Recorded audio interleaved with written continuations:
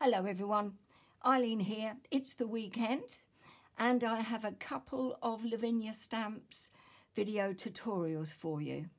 One today and hopefully another one for tomorrow. Today I'm doing a Christmas card. It's very quick, very simple to do, but I think that it's rather pretty. Let's get going then.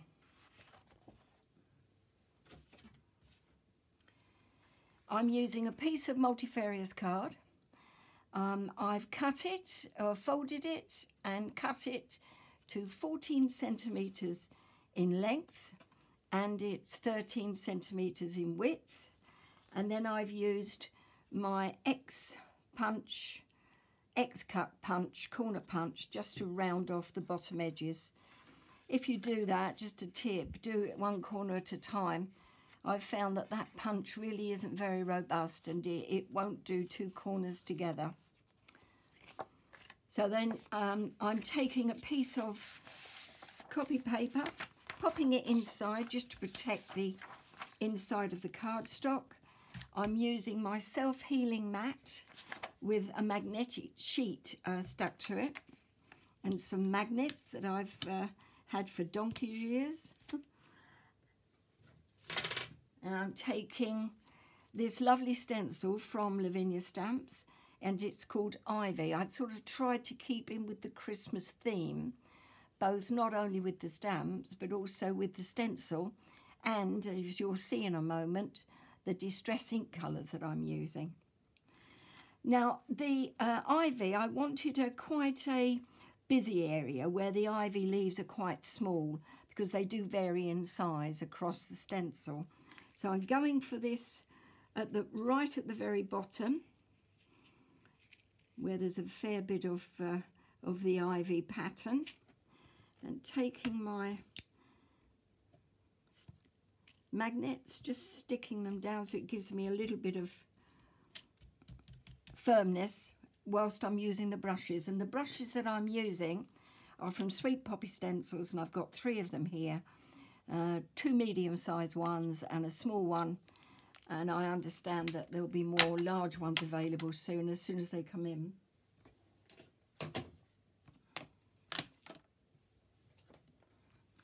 Now the colours that I'm using, as I've said, keeping to the Christmas theme, Festive Berries, Evergreen Bough and Iced Spruce.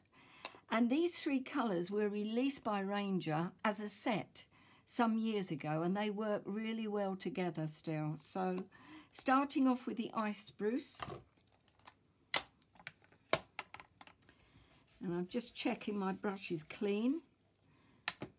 That one isn't. That one is. That one isn't. oh well, as the song goes, two out of three ain't bad. So we're starting off with the clean one. And I'm going just very lightly. Uh, my uh, wrist is very loose. The action is very gentle. And I'm going up the cardstock, starting over on the left-hand side facing me.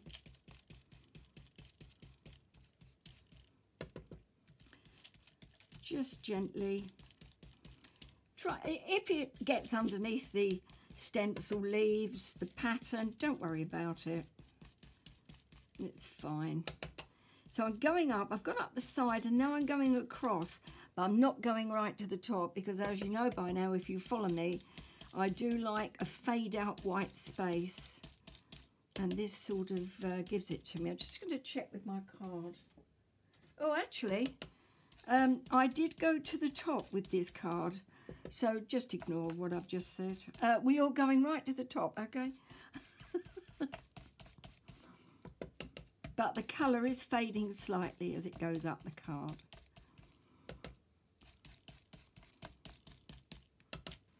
And then over, still going with the ice spruce, not quite over to the other side. I'm just over halfway with that. And then in comes the beautiful evergreen bough. And I'm going to use the same brush, but just wipe some of the grey off, or the ice spruce.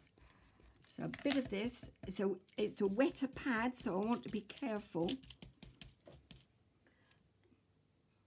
Uh, where is it? There it is. I don't want to go too far over the card. I have got a fair bit of white space in this area, but my other card, the original card I made, I thought wasn't very colourful. So I'm going to add a bit more colour to this one and then show you both of the cards at the end and you can choose whether or not you um, make it more colourful or whether you leave it in the uh, paler colours to begin with. See, we'll see what it's like. Bit more ice spruce over here, just along the bottom, but not right to the uh, right hand side. I want to have that ready for the image. So, let me have a look. Oh yes, that's much more uh, defined than the original one that I did. I don't know if I like it yet. I won't know until the end. So let's move this out of the way. And I'm taking my stamp pad because now I'm onto the stamping. It's a lovely stencil that.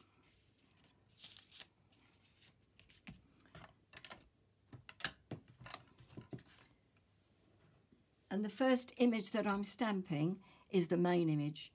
And this is a beautiful stamp and it's just called Mary. It's on the Lavinia Stamps website under Christmas, of course. it's gorgeous.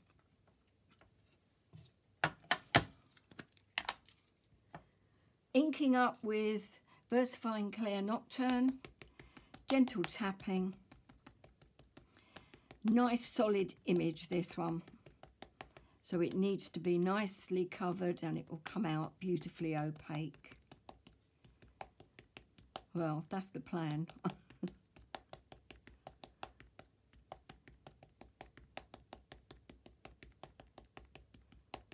there we go. Let's see what that's like. And then I'm just going to pop the stamp down over onto the right hand side of my card like so let the ink soak into your cardstock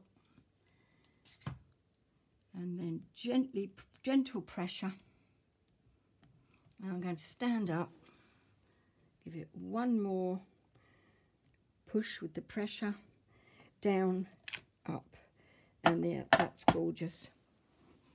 Got a tiny little speck there where I've missed it with the ink, so just going to pop that over and a bit there. Yeah, that's good. I want a bit there. I'm such a fusspot, but I can't help it. It has to be right. It has to be perfect. My desk is a total shambles when I've finished because I'm very untidy whilst I'm making the cards. But the card itself, I like it to be neat and crisp and even like the snow. okay. Now I'm going to use um, another stamp and this is uh, words from, again, obviously a Lavinia stamp stamp. And the name of this one is, I have it here, it's called, oh, Logical Christmas Words.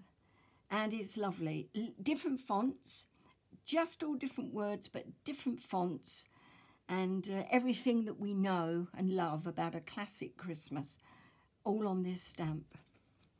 I'm going to ink up with the last of my distress inks, the Festive Berries.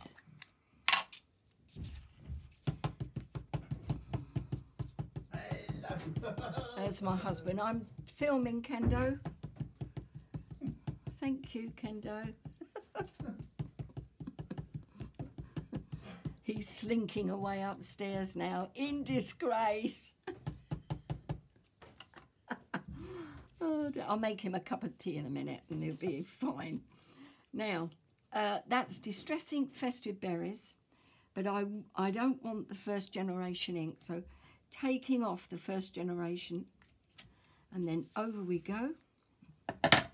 Just want to save my stamp um, pad, don't want to get ink on that I'm going to stand up so that I can get a better idea of where I'm stamping. Starting at the top and trying to keep it straight. Press, gentle press, pressure. And then moving it up a bit because I don't want any gaps in this. And then down again and again gentle pressure. So that will be third and fourth generation. It should be enough. Yes, that's lovely. Now, a bit of a cheat this time, I'm afraid, uh, because I haven't got a Lavinia stamp star. So I've taken this star from my stash.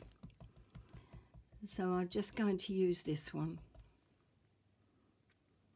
And it's a Black Nocturne again for this one. Uh, just going to pop it down. I've got to be very gentle. So it's down and up, not too much pressure because you'll just splay the polymer out and it will blur the image. So smaller images, they don't need you to be so heavy-handed. Coming along quite nicely. The final thing, because this is a very quick card,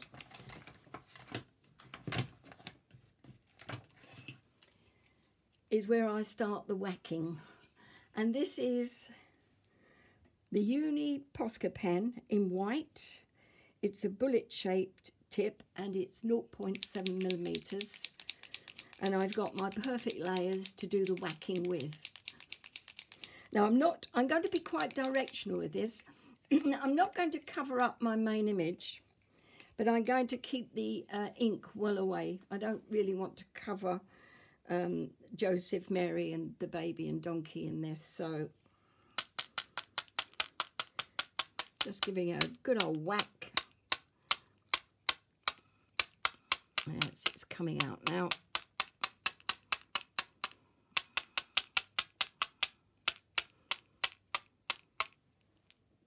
There we go. Bit more there. I've been quite heavy-handed, I have to say, uh, but I still like the look that I've got. So, let's see what the difference is. Now, this is the one that I've just made, obviously, and it's quite deep regarding the colour. And this is the one that I made earlier, and that is exactly the same design, as you can see, but I've used paler shades or I haven't been so heavy-handed with the brushes so that the inks are, are not quite as deep. But uh, to be honest, I like them both and they both will do. I mean, this one, the ivy is much more defined than it is on this one. So, pays your money, takes your choice. I'll be back tomorrow. Enjoy your weekend, everybody. Thank you for looking. Thank you, really thank you, lots of thank yous for the smashing comments that you leave me. And I'll see you tomorrow. Bye for now.